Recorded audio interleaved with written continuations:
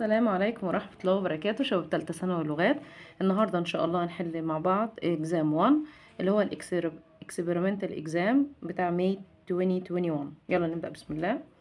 بيقول لي هنا uh, in an experiment to illustrate the relation between the amount of water absorbed by the plant. يعني تجربة بتوضح لي العلاقة بين كمية المية اللي بيمتصها النبات amount of water absorbed.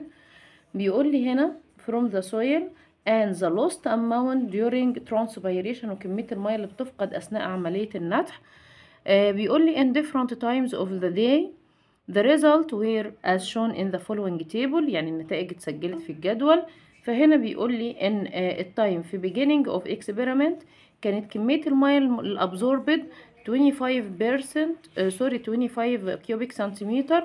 وفي نفس الوقت ال lost water 25 cubic centimeter يعني كمية المية اللي هو بيمتصها قد اللي هو إيه بيخرجها في ال transpiration أما بعد 3 hours كان 25 برضه 25 cubic centimeter ده كمية المية اللي هو بيمتصها. أما اللي بتخرج في ال transpiration كان 40 cubic centimeter معنى كده إن هو بيفقد في حصل هنا increasing in temperature in temperature مثلا فبدأ يفقد كمية كبيرة.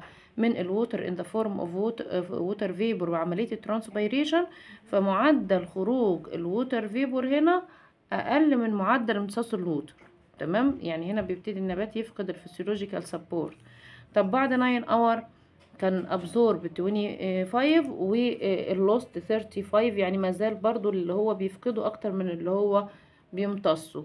طيب بعد كده بيقول لي إيه؟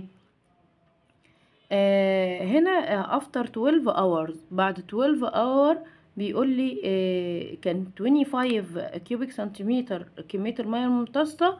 وبعد كده بيقول لي إن إن كمية المية اللي تم فقدها كانت 20 بس. يعني هنا في الحالة دي بدأ إن هو كمية المية اللي امتصاها أكتر من اللي بيخرجها يعني بدأ إن هو regain regain يعني بيستعيد ال physiological support بتاعته.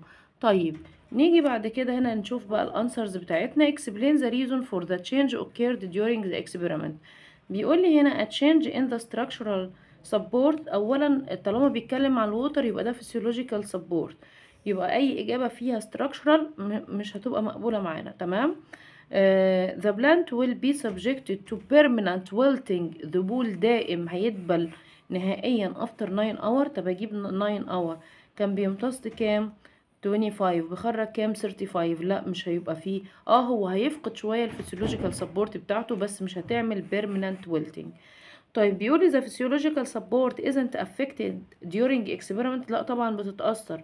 لما كان ال plant بيخرج water كتير كان بيفقد ال physiological support وبدأ ولما بدأ يمتص ال water كتير أكتر من اللي بيخرجها بدأ يستعيد تاني ال physiological إيه؟ support بتاعته. تمام؟ فهنا بيقول لي the plant regains its physiological support استعادها after 12 hours from the beginning of experiment. أيوه تبقى ال answer معايا number D ال answer معايا number D طيب آه دلوقتي إحنا بعد 12 hour كان بي بيمتص 25 cubic centimeter وبيفقد كام؟ 20 يبقى اللي بيمتصه أكتر من اللي يفقده يبقى فعلا استعاد ال physiological support طيب نيجي بعد كده ل question number 2 بيقول لي هنا the opposite graph shows the result of a study done by one of the scientists for effect of increasing the concentration of oxygen on plant cell بيقول لي which of the following could be concluded from studying this graph هو بيقول لي بالنسبة ل change in the growth and division لقينا ان الجروث بيحصل إيه؟ لما بنزود الاوكسين بيبتدي ال growth increase لحد certain limit حد معين. ولو زودنا الاوكسين بعد كده ان إحنا عملنا ده مثلا أرقام. سي zero هنا مثلا هنا 1 وهنا 1 2 3 4 5 هلاقي مثلا قصاد 3 وليكن دي أعلى نقطة يبقى ده أعلى growth. طب أنا بزود الاوكسين بعد كده. كل ما أزود الاوكسين ألاقي ال growth هيقل. يبقى ال growth تركيز الاوكسين إلى حد معين يزود الإيه؟ ال growth أما ال division شايفين إن هنا ال rate بتاعه ثابت. فنشوف بقى الإجابات بقى بيقول لي إيه؟ Increasing the concentration of auxin lead to an increase in growth of cell to a certain limit. آه طبعا ده اللي إحنا قلناه زيادة تركيز الاوكسين لحد معين يزود الجروس بعد كده يقل. طيب الأوكسين have no effect on cell growth إزاي no effect مش هو هنا زود النمو وبعد كده النمو بدأ يقل بزيادة تركيز الأوكسين؟ يبقى ما ينفعش. Increasing the concentration of auxin leads to continuous increase in the growth of cell. زيادة تركيز الأوكسين باستمرار عملت continuous increase. زيادة مستمرة؟ لا مش زيادة مستمرة. زيادة لحد معين وبعد كده بدأ الجروث يقل. طب the rate of cell division decrease by reducing concentration of auxin لا الريت of cell division كان معانا constant تمام كده يا شباب طيب نشوف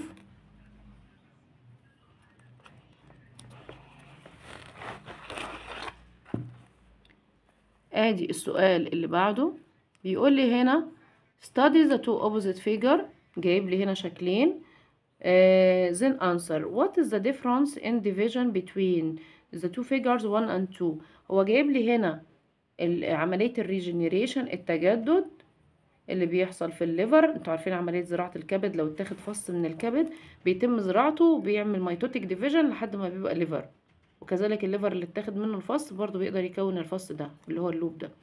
طيب دي الهايدرا وانت عارف لو قطعت الهايدرا في ب transverse section كل جزء منها بيقدر ينمو ل new individual يبقى ده regeneration أما number 2 هو reproduction by regeneration تكاثر بالتجدد. reproduction by regeneration يعني ده asexual reproduction تمام كده؟ طيب بيقول لي هنا إيه الفرق؟ إيه ال difference بين 1 و 2 هل the number of cell produced from each division اولا هما الاتنين mitotic division وال mitotic division. بيطلع 2 cells فأقول له لأ. هنا هيطلع 2 cells في ده أو ده فما فيش فرق. طيب the number of chromosome in the produced cell with respect to the parent cell هيبقى نفس العدد بقول لي difference. هنا نفس طالما mitotic division بيطلع نفس العدد من الكروموزوم.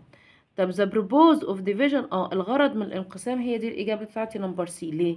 لأن ده الغرض منه regeneration أما ده غرض منه reproduction. تمام؟ the type of division لا إحنا لسه قايلين إن ال division ده mitotic في الاثنين تمام؟ يبقى ما ينفعش معايا ال answer number D طيب نيجي لل question اللي بعده number 4 بيقول لي هنا the two following figures represent a plant cell before and after infection studying them studying them زنديوس يلا نشوف كده مع بعض. أول حاجة كده بيقول لي what is the what is or what is or are the immune substance that formed inside the cell. ده بيقول لي before infection ما كانتش موجودة. المادة دي تمام؟ وبعد كده اللي هو ال immune substance دي اتكونت after infection طب وبعدين؟ دلوقتي المادة اللي ما كانتش موجودة دي ممكن تكون antimicrobial protein. أقول له آه طبعا زي ال detoxifying enzyme. ليه؟ عشان ما بتكونش موجودة قبل الإصابة. طب receptors لا لأن ال receptors بتبقى موجودة من قبل ال infection طب سيفالوسبورين أو canavanine طبعا أنتوا عارفين إن الحاجات دي بتتكون إمتى؟ بتتكون من يعني ممكن maybe ممكن تبقى متكونة من قبل ال infection وممكن تؤدي الانفكشن إلى تكوينها. تمام كده؟ يبقى ال answer number A طيب نيجي ل number 5 بيقول لي هنا which of the following graph represent the growth of both sides of tendril if uh, it touch an external support. طبعا أنت عارف ال tendril اللي هو المحلاق ده لو لمس uh, لما بيلاقي ال support بيلتف حولها. سبب الالتفاف ده إن ال touched side اللي هو الأزرق ده وال support بيحصل فيه inhibition في الجروس تثبيط في النمو بتاعه. أما ال untouched side الجنب اللي ما تمش لمسه هو ده أو اللي ما بيلمسش الدعامة الجنب البعيد هو ده اللي بيحصل له معدل الجروس بتاعه بيبقى أعلى عشان يعمل إيه؟ يعمل التفاف حوالين ال support. تمام؟ فأنا عايز إن الأزرق ده المعدل يحصل فيه تثبيط وده يحصل فيه increase growth ال orange ده. فعلا بيقول لي before infection before touching support كان هما الاثنين الجنبين زي بعض. طب بعد لمس ال support ال orange اللي هو ال untouched side هو ده اللي المعدل الجروس بتاعه هيزيد. أما ال touched side ما بقولش إن هو ما بينموش بينمو بس ال growth rate بتاعه بيقل معدل النمو مش النمو نفسه. مفيش نمو بيقل يعني لما حد بيوصل مثلا لطول معين مش هنقول إن هو هيقصر تاني بس ممكن نقول ان معدل النمو قل يعني إيه ما بقاش يطول قوي زي الفترة مثلا اللي هي بتاعه ال puberty البلوغ مثلا ده example يعني. فهنا معدل النمو بيقل يعني بينمو بس إيه المعدل قليل فال answer number A. طبعا كل الإجابات التانية ما ينفعش على أساس إن هو جايب لي هنا ال untouched side جايبه لي بيقل وهنا بيقول لي إن هو ثابت وهنا بيقول لي بيقل. يبقى ما ينفعش. خلاص؟ طيب نيجي ل number 6 بيقول لي هنا the opposite table shows the reason the response of four endocrine gland to the pituitary gland hormone in the human body. What do you expect gland number 3 to be? طبعا ولا ال gland number 1 ولا 2 ولا 3 عملوا response يبقى أكيد ما بتخرجش هرمونات من ال pituitary gland تنشط الغدد دي. طيب فبيسألني في غدة واحدة أهو تمام؟ هي اللي تم تنشيطها من ال pituitary gland هل هي البنكرياس؟ لا طبعا. البنكرياس ما بيوصلوش هرمون من ال pituitary gland ولا ال stomach ولا ال adrenal medulla اللي بتخرج مثلا الأدرينالين النور ادرينالين أمال مين؟ ال adrenal gland cortex؟ آه طبعا. ليه؟ لأن ال pituitary gland ال pituitary gland دي بتبعت هرمون اسمه ال ACTH علشان يحفز ال adrenal cortex إنها secrete ال hormones بتاعتها. تمام؟ نكمل. عندنا هنا number 7 بيقول لي four plants from the same type were subjected to a deep wound آه، تعرضوا لقطع كبير at the same time which of the following figures refer to the plant cell that don't have receptor? طبعا لما بيكون النبات عنده receptor بيبتدي بي بيدرك يعني recognize ميكروب بيتعرف على الميكروب ويبتدي ينشط ال immune defense اللي هي الدفاعات بتاعت مين؟ النبات. ولكن هنا زي ما إحنا شايفين بصوا كده. أنا عندي ده كون tyloses وده كون tyloses وده كون tyloses والأخير لا يبقى ده اللي ما كانش عنده receptor وبالتالي ما تمش تحفيزه على إنتاج ال tyloses. تمام كده؟ طيب نيجي هنا ل number 8 بيقول لي هنا the opposite figure shows planaria worm which was cut into eight parts uh, then they were placed in salt water. اولا أنتوا عارفين ال planaria بتعيش في ال fresh water تاني حاجة إن ال planaria دي لما نيجي نقسمها يعني نقسمها اتنين بالطول longitudinally يا أقسمها كذا آه حاجة في المستوى اللي هو transverse العرضي. لكن أعملها اتنين بالطول وأقسمهم كمان كده لا بالطول بيبقوا اتنين فقط. ما كانش ينفع التقسيم اللي بالعرض ده مع الطول. فكده أو كده لا هي بتعيش في salt water ولا التقسيم بالمنظر ده ينفع؟ فلما يسألني عن ال expected number of planaria worm that produced هقول له كام؟ zero تمام؟ مفيش قطعة من دي هتكون محتوية على ال complete genetic material المادة الوراثية كاملة. لكن لو جزء بالطول كده هيحتوي على المادة الوراثية كاملة. لو مش مقطوع بالطول واتقطع بالعرض هيكون أي جزء محتوي على المادة الوراثية كاملة. طب نيجي ال question number 9 ونركز كده في السؤال ده. ده يعتبر شوية تراكمي. من سنة تانية بيقول لي in one of the experiment on the oat plant اللي هو نبات الشوفان the plants were divided into three groups as shown in the figure. بيقول لي أول حاجة the first group المجموعة الأولى ال growing tip بتاعتها was separated from the plant by metal plate. طبعا ال metal plate اللي أنت شايفها دي مش هتنفذ الأوكسين أنت عارف إن الأوكسين بتبقى موجودة فوق. طالما مش هتنفذ الأوكسين يبقى مش هيحصل ال growth طب ال second group تم فصلها بإيه؟ ب gelatinous substance بمادة جيلاتينية ودي بتبقى permeable للأوكسين يبقى الأوكسين هنا هيحفز موضوع الجروس طب والمجموعة التالتة؟ قال ال growing tip separated from plant اتفصلت عن النبات then reconnected directly يعني بعد ما قطعوها رجعوا تاني حطوا القمة دي بدون ما يبقى مثلا في جيلاتين ولا أي حاجة برضو هنا النبات بيستعيد النمو بتاعه. فبيسألني هنا أسئلة بقى خلي بالك بيقول لي what is the explanation for this result طب ال continuous growth in the second و third استمرار النمو في التانية والتالتة. تمام؟ في المجموعة التانية والتالتة. prove that oxen have no role ملوش دور في الجروس إزاي بقى؟ ده المجموعة التانية والتالتة هي اللي هيبقى فيها الاوكسين وهتأثر في النمو. فكلمة no role دي هي اللي غلط. طيب بيقول لي بعد كده إن ال growth stopped in the first group هنا النمو توقف لأن ال growing tip loses its ability to secrete auxin. لا هي كان فيها اوكسين المشكلة إن تم فصلها بحاجة metal فال metal ده not permeable to auxin فبالتالي يتوقف النمو يبقى ده مش سبب. number C بيقول it isn't conditioned. مش شرط. On the presence of a direct contact. مش شرط يكون في اتصال مباشر بين ال growing tip and plant for the passage of auxin. آه طبعا لأن هنا القمة مفصولة بالجيلاتين وهنا اتفصلت وتم وضعها مرة تانية فمش شرط يكون اتصال مباشر. ممكن تبقى حاجة تفصلهم بس تكون permeable يعني منفذة. تمام؟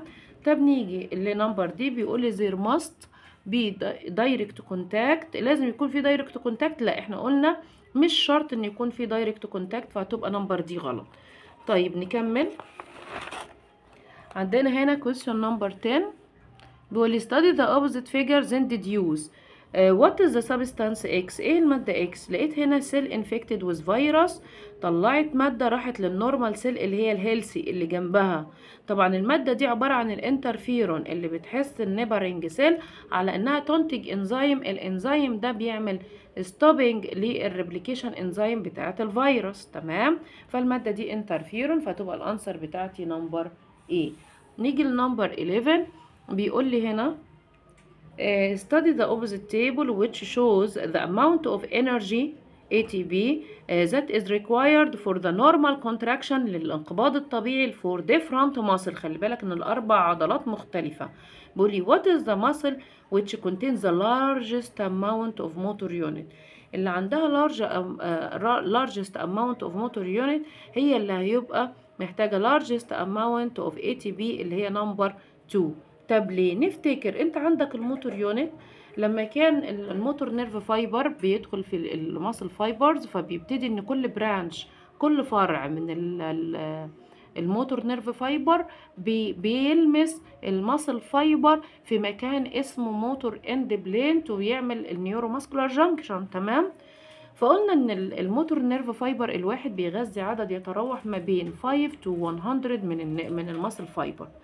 فأنا دلوقتي كل ما يكون عندي motor unit كتير وفي muscle fibers كتير وأنت عارف إن في موضوع ال contraction بنحتاج ال ATP عشان ال myosin filament اللي بتبقى طالعة ال transverse link اللي بتكون خارجة من ال myosin filament ورايحه لل actin filament بتكون بتتكون مساعدة الكالسيوم وال ATP عشان تتصل بال actin filament محتاجة ATP في ال contraction وعشان تعمل relaxation برضو بتحتاج ATP عشان تنفصل ال transverse link عن الايه عن الاكتين فعلشان كده اللي فيها أكبر كمية من ال motor unit هي اللي بتحتاج أكبر كمية من ال ATP تمام كده يا شباب؟ طيب نكمل.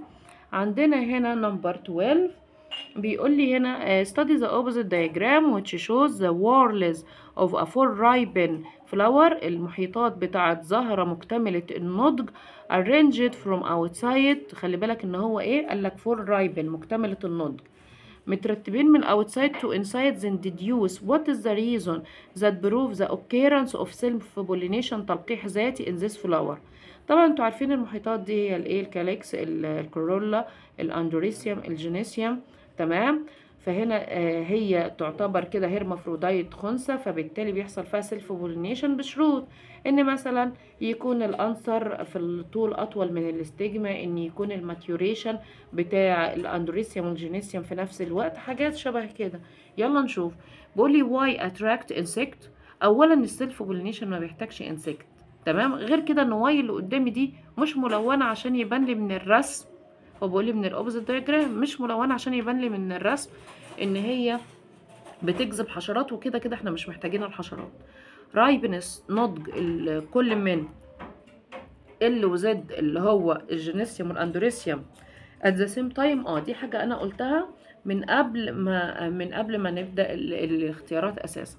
طيب ripeness of L before Z لو L before Z يبقى الاوفا الاكسل الاوفام والاكسل أو ال ovule وال egg cell هتبقى موجودة من قبل ما ال pollen grain تتكون فما ينفعش. طب X protect the internal structure هي X بتحمي ال internal structure before blooming قبل تفتح الزهرة. دي حاجة. الحاجة الثانية إحنا بنتكلم عن self pollination يبقى أنا محتاج androecium و gynoecium في نفس ال flower ويكونوا هما الاثنين حصل لهم maturation في نفس الوقت ويكون مستوى ال anther أعلى من مستوى ال stigma تمام؟ طيب نيجي ل number 13 بيقول لي هنا from the two opposite figure what is the type of immune cells نوع الخلايا المناعية in each of one and two respectively طب نبص كده أنا عندي ال immune cell اللي بت بت بتعمل engulf بتبتلع ال senescent red blood cells اللي هي خلايا الدم الحمراء المسنة أو المتهالكة اللي بيكون عمرها وصل ل 120 يوم يعني أربع شهور كده ده عمر ال red blood cell مين اللي بيخلصنا منها؟ ال macrophage. أدور على ال macrophage الاقيها في ال answer number B طب هل التانية granular cell هنشوف. أنا عندي ال immune cell دي اشتغلت على مين؟ على ال pathogenic bacteria. طب مين بيشتغل عليها؟ ال granular cell آه اللي هي ال neutrophil وال basophil وال eosinophil. يبقى إحنا هنا عندنا ال answer number B طيب آه نيجي ل 14 بيقول لي the opposite figure shows a filament of spirogyra alga isolated from dry lake. البحيرة الجافة دي unsuitable condition. Unsuitable condition. وانت عارف ان هو بيعمل sexual reproduction by conjugation في ال unsuitable إيه condition. يبقى إحنا كده بندور على اقتران. طيب بيقول لي what is the form of reproduction in this filament نجاوب من غير ما نشوف الإجابات. هو scalariform conjugation. واحد يقول لي عرفنا إزاي؟ ده أنا شايف خيط واحد. أنا ممكن أقول lateral لا انت عندك الجزء ده. بداية تكوين أو جزء من مين؟ من ال conjugation tube من قناة الاقتران conjugation tube فده قناة اقتران وده قناة اقتران وده كمان وده كمان وده كمان. يعني قصده إن كان في هنا filament بس هو شايله من الرسم. قناة الاقتران تدل على اللي هي ال conjugation tube ال filament ده بدأ المحتوى هنا اللي هو البروتوبلازم بتاع كل cell يتنقل من من هنا من ال filament ده يروح لل filament اللي قصاده. تمام؟ طيب عن طريق ال conjugation آه عن طريق ال conjugation tube فهنا بيقول it is an asexual reproduction لا هو sexual فانا مش هكمل ال conjugation sexual type of reproduction can't be detected ليه ما نقدرش نحدد نوع التكاثر ليه مش هنا unsuitable condition يبقى conjugation طب it is a sexual reproduction bilateral conjugation لا مش lateral lateral لو من سل لسل جنبها تمام لو كده لكن أنا عندي conjugation تيوب فهيبقى ده sexual reproduction by scalariform conjugation بالاقتران السلمي تمام كده شباب طيب يلا نكمل بيقول لي إيه هنا يلا نشوف بيقول لي the opposite figure shows a structure in the immune system ده ال antibody what is the figure that describes region A and B مين اللي هيوصف المنطقة A و B طب أنا عندي دي المنطقة دي بتعتبر اللي هي ال antigen binding site طب ال antigen binding site لازم يتلائم مع شكل ال antigen مين يقدر يتلائم مع شكل ال antigen عندي هنا؟ لو أنا بصيت في الأشكال كلها number B الوحيدة اللي تنفع. هنا زي هنا. أهو ويتلائم مع ده. لكن ده بيتلائم واللي جنبه؟ لا. ده بيتلائم واللي جنبه؟ لا. الاتنين ده مش مطابقين أساسا. يبقى ال answer number B طب نيجي ل 16 بيقول لي what is the time taken by malaria plasmodium to make symptoms appear repeatedly يعني تتكرر تكرار الاعراض 5 successive time on the infected person طب ما انت عارف ان كل يومين every two days بيحصل destruction لل red blood cell ويخرج منها ال merozoite اللي بعضها بيتحول ل immature gametocyte وكمان بيخرج معاها ال toxin substance المواد السامة اللي بتسبب اللي هي ظهور ال symptoms بتاع ال disease. فطالما بتتفتت كل يومين وانت عايز الأزهار الأعراض تظهر آه كل آه خمس مرات يبقى 2 by 5 equal 10 days. يبقى بتتفتت ال red blood cell كل يومين وإحنا عايزين الأعراض تظهر خمس مرات يبقى 2 by 5 equal 10 السؤال اللي جاي ده بقى يا شباب اللي محتاج تركيز ومحتاجنا نفهم كويس. هو عايز إيه بالظبط؟ بيقول لي إن the aerobic respiration لل skeletal muscle التنفس الهوائي. أنت عارف إن كمية ال energy اللي بتنتج من ال hydrolysis بتاع ال1 جلوكوز ال1 جلوكوز في موضوع ال aerobic respiration بيدينا 38 ATP فاهمين الكلام ده؟ only أما في حالة ال anaerobic هنعمل خطين كده. ال anaerobic respiration كل واحد جلوكوز كل 1 جلوكوز بيطلع لي بس 2 من الاي تي بي تمام؟ where the two molecules of lactic acid are formed 2 ATP مع 2 من اللاكتيك acid the opposite graph show the amount of ATP and lactic acid كمية ال ATP واللاكتيك acid that are produced during the activity of a skeletal muscle وبيسألني what is the ratio between the amount of glucose ما قالكش الريشيو بين ك... بين ال ATP تمام consumed by muscle during its normal activity compared to أثناء نشاطها العادي في الحالة ال normal مقارنة بالكمية اللي بتستهلكها أثناء ما هي fatigued يعني أثناء ما هي مجهدة. تمام؟ طب نركز. في ناس أول ما شافت السؤال ده كتير آه، معايا ومع أي حد بيجي يقول لي إيه؟ في حالة الإيروبيك بيطلع 38 ATP وحالة ال anaerobic هيبقى 2 ATP فلو عملنا divided 2 هيبقى هنا دي 19 ودي divided 2 فيها 1 ويجري يختار 19 to 1 ويبقى إجابته غلط. الله. أمال هو عايز إيه؟ هو مش عايز ال ratio بتاعت ال ATP نفسها هو عايز ال ratio بتاعت الجلوكوز. يعني مثلا العضلة هتستهلك قد إيه جلوكوز؟ وهي في النشاط العادي بتاعها وهي في حالة الإجهاد. في دي وفي دي. بص كده طبعا في حالة ال aerobic respiration كان ما كانش طبعا اللي موجود عندك ATP ومفيش lactic acid أما في حالة ال fatigued muscle اللي هي العضلة المجهدة كمية ال ATP قد اللاكتيك لأن كل اتنين لاكتيك بيخرج معاهم اتنين ATP فإحنا لو بصينا حتى هنا قصاد مين هنلاقيها؟ تقريبا قبل ال ATP شوية وليكن 75 number of molecule طيب أنا مش مش هتعامل مع عدد ال molecule وهتوهك. إحنا كل اللي عايزين نعرفه بس حاجة. أنت دلوقتي أنا بعملها بقى بطريقة كده بسيطة جدا بدل ما تقعد تعمل حسابات كبيرة بقولك أنت عارف إن الواحد من الجلوكوز في حالة ال aerobic respiration بيديك 38 ATP. تمام؟ طيب ده في الأيروبيك اكتب أيروبيك أهو أيروبيك. طب ال anaerobic عشان هو بيسألك بقى عن كمية ال glucose anaerobic أقول أنت بتسأل عن كمية الجلوكوز. كم جلوكوز أنا هحتاجه عشان يطلع لي نفس الكمية اللي هي 38 ATP؟ تمام؟ كم جلوكوز أنا محتاجه؟ يبقى يبقى أنا دلوقتي عشان أطلع نفس ال 38 ATP إذا كان الواحد جلوكوز هنا بيطلعه 38 ATP أمال كام جلوكوز يطلع لي ال 38 ATP أقول له آه. أنت عندك هنا الواحد لو أنا قلت واحد جلوكوز أعملها بقى بالطريقة اللي هي السهلة أنا أنا فهمتك إحنا عايزين نعمل إيه؟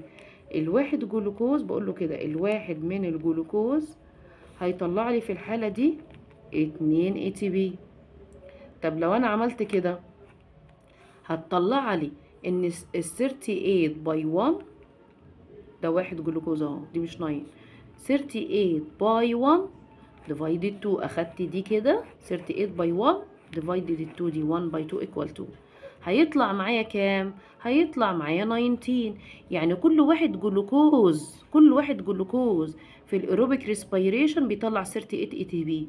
يبقى كل 19 جلوكوز في ال anaerobic respiration هيطلع 38 ATP. يبقى أنت عايز كمية الجلوكوز اللي في ال aerobic لل anaerobic.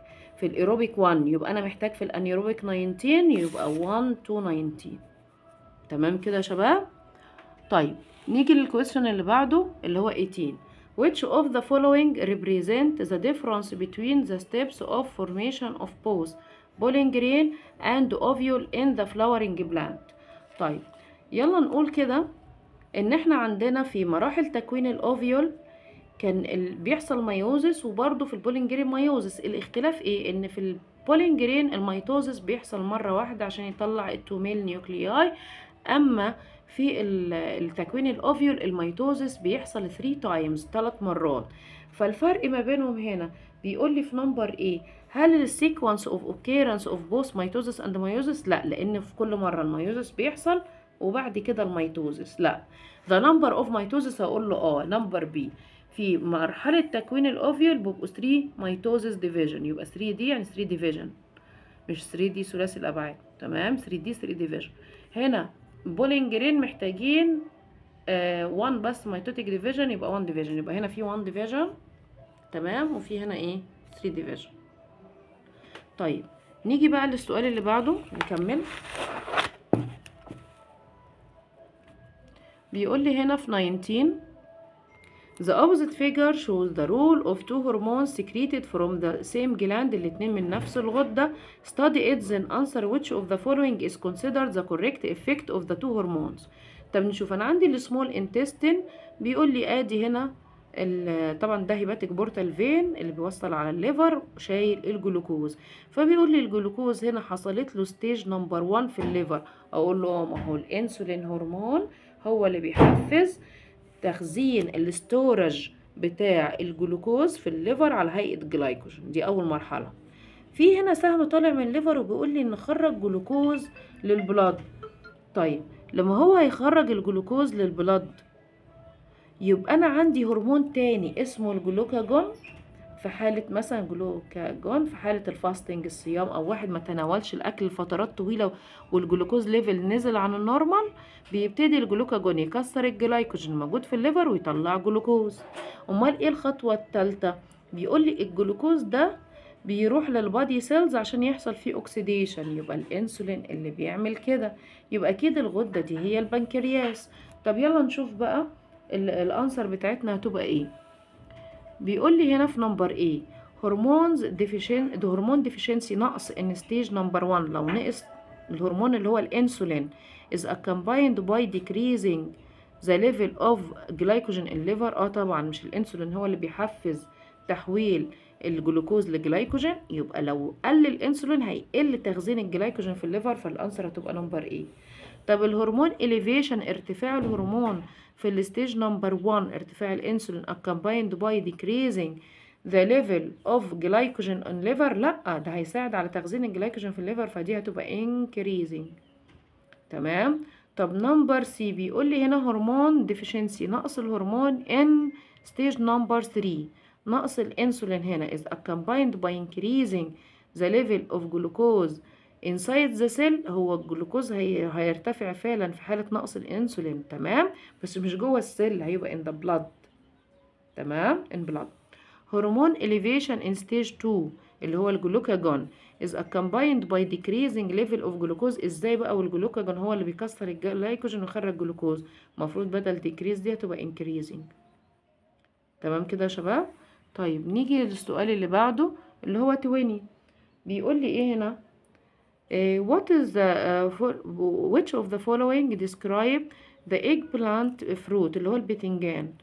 قال لي دي true fruit آه طبعا لأنها اتكونت من ال ovary طب false true fruit لا لأن ال apple هو اللي false fruit لأنه بيتكون من ال receptacle طب mono-seeded fruit لا فيه seed كتير. many seed مش mono many it's a seedless fruit لا فيها بذور صغيرة من جوه. تمام؟ طيب نيجي ل 21 21 بيقول لي the opposite figure shows a joint in the human body uh, what is the structure that responsible for نركز determining the movement direction in this joint in general اللي بيحدد ال direction بتاعت ال movement عند المفاصل هو ال ligament ادور على ligament ابص الاقي ده tendon بيربط ال muscle بال bone لكن number 3 هو ده اللي بيربط bone ب bone يبقى number 3 ده ligament يبقى ال answer بتاعتي number C طيب نيجي ل 22 بيقول لي إيه هنا؟ A person performs a blood test عمل تحليل دم for TSH level. طب يلا نشوفه الأول ونكمل القراءة. بيقول لي ال result طلع 10.5 وال normal range المفروض من 0.5 to 5 يعني أقصى حاجة 5 ده 10.5 يعني الضعف أو أكتر من الضعف كمان. طيب فبيقول لي and the analysis result appeared as shown. شفناها. If he doesn't suffer from any defect in pituitary gland. لو ما عندوش. مشكلة في ال pituitary gland ما عندوش مشكلة. هي مطلعة TSH كتير عشان تحفز مين؟ تحفز. ال thyroid gland ده دليل على كسل ال thyroid وإن هي قليلة في إفرازها للثيروكسين بدليل. إحنا عندنا حاجة اسمها negative feedback يعني لو قل إفراز الثيروكسين من ال thyroid gland آه بيبتدي بعد كده بال negative feedback زي إشارة كده بتروح ال pituitary gland بتحفزها إنها تطلع ال TSH على أساس بنسبة كبيرة على أساس إن هو يحفز يحفز ال thyroid gland على أساس إنها كسلانة في الوقت ده شوية. طيب فكده آه في نقص في إفراز هرمون الثيروكسين فبيقول لي what may this person suffer from هل exophthalmic goiter لا ده بيجي من increase أو أو أو hyper secretion of thyroxine ال myxedema آه ال myxedema هي اللي بتيجي من ال hypo secretion بتاع الثيروكسين طب elevated iodine level in body لا ده هنا هيبقى في نقص في ال iodine مش زيادة elevated يعني زيادة. hyposecretion للكالسيتونين ملوش علاقة الكالسيتونين بالحوار اللي إحنا بنحكي فيه. إحنا بنحكي عن ال TSH اللي بيحفز ال thyroid عشان تطلع مين؟ الثيروكسين. طيب نيجي ل 23 نشوف كده مع بعض. بيقول لي study the opposite figure. Then determine يلا كده نشوف. بيقول لي which of the following characterize this stage of embryo development واضح إن دي ال last stage فهل في ال last stage ال fetal growth fetal جاي من كلمة fetus يعني جنين. fetal growth slow down أقول له طبعا بيتباطأ نمو الجنين في المرحلة الأخيرة. طب ال ear growth نمو الأذن completed ال sense organ بتكتمل من ال second stage ال possibility of distinguishing the male fetus only إن أنا أشوف أميز ال male fetus عامة ال male أو ال female بيبتدي الكلام ده برضو من الشهر الرابع الخامس يعني مع ال second stage على الرغم ان ال ال ال ال organs بتاعت ال male بتتكون بداية تكوينها بيبقى after 6 weeks from pregnancy وال female after 12 weeks from pregnancy. بس بيبتدي ال doctors بيحددوا في الشهر الرابع يبقى ال second stage و beginning of heart formation ده من الأول. فعشان هنا عشان كده تبقى الإجابة بتاعتي number A طيب يلا نشوف هنا. عندنا 24 بيقول لي the opposite figure shows a part of plant stem epidermis. What is the type of immune response appeared in X? النوع الاستجابة اللي ظاهرة في X طبعا واضح إن في swelling في ال epidermis طيب ال swelling في ال epidermis ده هل هو biochemical ولا structural طبعا ده structural. يبقى أي إجابة فيها biochemical زي A أو B مستبعدة. طب هو structural response formed after infection طبعا بعد الإصابة. تمام؟ ده أثناء اختراق الميكروب أثناء ال penetration بتاع الميكروب.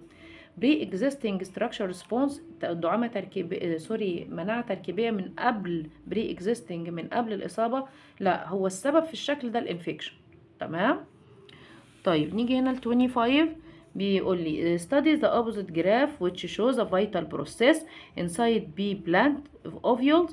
Their somatic cell contain 14 ال somatic فيها 14 كروموسوم يبقى ال gamete بتاعها فيها 7 then deduce what is the vital process expressed in A and B together? يلا نشوف إيه أنا كان عندي اتنين. كل واحدة 7 كروموسوم وليكن male nucleus مع ال egg cell كونوا لي حاجة 14 يبقى ده كده الزيجوت تمام؟ طيب وبعدين كان عندي هنا 3 n ما هو أنا عندي ال 14 دي somatic يعني ال 14 دي 2 n وعندي 7 n واحدة. فأنا عندي 3 من ال n, n و n و n يعني 2 embryonic sac nuclei with the other male nucleus. تمام؟ اندمجوا مع بعض وكونوا ال endosperm يبقى number أو ال column ده بيمثل ال endosperm اللي هو كام؟ اللي هو 3 n أما الزيجوت ده 2 n طيب يلا نقول بقى إن دي عملية double fertilization اخصاب مزدوج. موجودة موجودة عندي من أول answer number A طب لو قال لي triple fusion أقول له B بس. تمام؟ embryonic sac formation تكوين الكيس الجنين لا. fruit formation لا. يبقى هي الإجابة بتاعتي number A نيجي ل 26 بيقول لي the opposite figure shows the structure of a component in immune system. طبعا ده ال antibody what is the result of replacing an amino acid with another one in region A. طبعا ال region A دي بتاعت ال antigen binding site. ما ينفعش إن إحنا نغير فيها. فلو في amino acid اتغير ال shape ده هيتغير وما ينفعش يرتبط بال antigen بتاعه. فبيقول لي it will be incompatible with the specific uh, antigen. هو هيكون مطابق لل antigen بتاعه. هو كلمة comp... بيقول لي أهو بيقول لي compatible دي مطابق. in يعني غير مطابق. هو هيكون غير مطابق؟ آه هيكون غير مطابق لل antigen بتاعه فتبقى ال answer number A طب it can bind with specific antigen لا مش هيقدر يرتبط مع ال antigen nothing will occur. لا هيتغير الشكل بتاع ال antigen binding site. A change will occur in its specific لا التغير مش في ال antigen في ال antigen binding site. تفرق تمام؟ ال antigen ده على سطح الميكروب وما بيتغيرش. طيب 27 بيقول لي what is the reason for decreasing the fertility rate in 25 year old female? طب female عندها 25 سنة. إيه المشكلة بقى إنها الخصوبة عندها قليلة؟ هي الخصوبة ترجع لتكوين مين؟ ال ovules. طب مين الهرمون اللي بيحفز تكوين ال ovule؟ ال FSH ال FSH بيخرج من ال pituitary gland ويروح لل ovary يحفزه يكون ال Graafian follicle اللي بتحتوي على ال secondary oocyte اللي بتكون ovum بعد كده في ال fallopian tube بال second meiosis طيب فبقول لي continuous secretion of estrogen hormone لا. Hyposecretion of FSH آه عندها نقص في إفراز ال FSH ال answer number B hyposecretion في البروجستيرون؟ لا البروجستيرون ولا ال LH هو اللي ليه علاقة بالتبويض بال ovulation هو ال FSH تمام؟ آخر ثلاث أسئلة معانا في فيديو النهاردة. بيقول لي هنا 28 all or none law قانون الكل أو لا شيء. Is the law that controls the muscle contraction ده القانون اللي بيحكم الانقباض العضلي خدناه في سنة تانية. Which means that اللي بيعني إن ال muscle doesn't contract unless stimulus is sufficient. العضلة ما بتنقبضش إلا لما يكون المؤثر كافي to stimulate it to contract كافي إنها يثير اللي إثارتها إنها تنقبض. So that the muscle contract with its maximum response وقت ما بيكون المؤثر ده كافي بتستجيب بأقصى استجابة عندها. يبقى ال ال العضلة هتستجيب ب maximum strength طب if two identical muscle لو عضلتين زي بعض بالظبط are exposed to stimuli يتعرضوا لمؤثرين which are sufficient. هو حدد لي إن المؤثرين الاتنين كافيين. خلاص هما الاتنين هيستجيبوا بنفس الريت. بيقول لي كافيين to stimulate them. But the first stimulus is double the strength of second stimulus. What is the result of this إيه of this state? بصوا السؤال الطويل ده كله بيقول لي إن في عضلتين مختلفتين تمام؟ اتعر... عضلتين زي بعض اتعرضوا لمؤثرين مختلفين. الاتنين قوي ق... يعني sufficient كافي كافي لإثارتها بس واحد القوة بتاعته ضعف التاني. إيه اللي هيحصل؟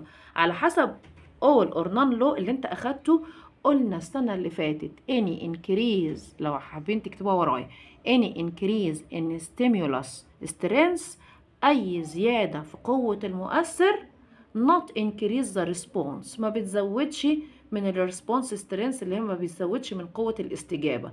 طالما المؤثر sufficient مش شرط بقى يبقى قوي قوي. المهم إن هو يكون كافي للإثارة. في الحالة دي ال muscle بتستجيب ووقت ما بتستجيب بتستجيب بتعمل maximum response سواء إن ال stimulus فيها double أو ال stimulus فيها sufficient. تمام؟ فبيقول لي the first muscle contract ولكن ال second doesn't contract الكلام ده غلط خالص. الاتنين هينقبضوا بنفس المعدل. the first muscle contraction will be double هيبقى ضعف ال second لا ولا ال second ضعف ال first. أمال إيه؟ the contraction of the two muscle will be with the same strength أيوه الاتنين بنفس القوة. 29 بيقول لي هنا the opposite graph shows the relation between num the number of sperms and the probability of fertilizing the ovum. عدد ال sperm واحتمال الإخصاب. Which of the following can be deduced from this graph? طبعا بيقول لي هنا الاحتمال كان ضعيف لحد ما العدد بدأ السبيرم يزيد. زي ما أنتم شايفين كده كان اهو قليل يعني هنا زي ما أنتم شايفين قليل وبدأ يزيد. يعني كل ما يزيد عدد ال sperm بي طبعا أنتوا عارفين ال acrosome في ال sperm بي بي بيفرز أو secrete hyaluronidase enzyme اللي بيحلل جزء من غلاف ال ovum عشان غلاف ال ovum ده بيبقى فيه hyaluronic acid تمام؟ طيب فكل ما يزيد عدد ال sperm كل ما يسهل من اختراق ال ovum وبالتالي يتم ال fertilization. فبيقول لي هنا by increasing the number of sperm to certain level the chance of fertilization ovum decrease. لما نزود الحيوانات المنوية لحد معين فرصة الإخصاب بتقل. ده الكلام ده غلط. هو المفروض إن كل ما يزيد زي ما أنتم شايفين كده كل ما يزيد عدد ال sperm تبقى يبقى أسهل الاختراق بتاع ال ovum وعملية ال fertilization. طب as the number of sperm increase the amount of hyaluronidase enzyme increase. آه طبعا لأن ده بيفرز من ال acrosome بتاع ال sperm وهيحلل غلاف البويضة وهيسهل ال fertilization طب the sperm number must reach zero for occurring sterility. لا sterility دي يعني عقم. والشخص العقيم ما عندوش zero sperm عنده sperm عددها أكتر من إيه؟ من 20 إيه مليون تمام؟ طيب. نيجي ال number D بيقول there is no relationship between the sperm number and probability of fertilization. لا في علاقة طبعا كل ما يزيد عدد ال sperm كل ما بيزيد آه فرصة ال fertilization. The last question. بيقول لي هنا which of the following describes the opposite twin بص كده على opposite twin ده ليه placenta وده ليه placenta آه في كل واحد في ال embryonic sac بتاعه كيس جنيني مختلف. فبيقول لي they have آه they may have احتمال إن يكون عندهم the same sex آه ليهم نفس الجنس احتمال آه هو مش أكيد عشان كده حط لك may. تعرف اللي هو ال fraternal twins بيبقى ممكن يبقى الاتنين males أو الاتنين females أو واحد منهم male والتاني female تمام؟ يبقى آه may هو حط لي may هما ممكن يبقوا زي بعض آه ممكن يبقوا ولدين ومش شبه بعض بنتين ومش شبه بعض قوي طب بيقول لي they are Siamese twin ده توأم سيامي لا التوأم السيامي بيبقى في آه، ليه آه، بيبقى ليه هنا هو ال identical twins ليه placenta واحدة ليه embryonic sac واحد وغير إن هما ملتصقين في جزء من الجسم مع بعض. يبقى الإجابة دي ما تنفعش. زي always have different sex. دايما التوأم ده different في sex. لا هو ممكن يبقى same sex وممكن يبقى different sex. طب زي always have the same sex لا مش always. اللي always have same sex ده الidentical twins. تمام يا شباب؟ وده كان الفيديو بتاعنا النهارده. أتمنى تكونوا فهمتوا. الفيديو الجاي إن شاء الله على exam 2 تمام؟ والسلام عليكم ورحمة الله وبركاته.